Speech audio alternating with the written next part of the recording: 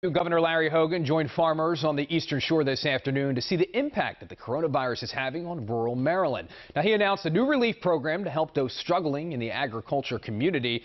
Part of the Maryland Farmer COVID-19 relief program will provide direct payments of $1,000 per house up to five houses or $5,000 per farm.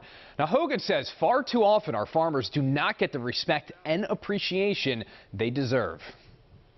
I want our entire Maryland ag community to know that your commitment to our state, to our ag industry, does not go unnoticed.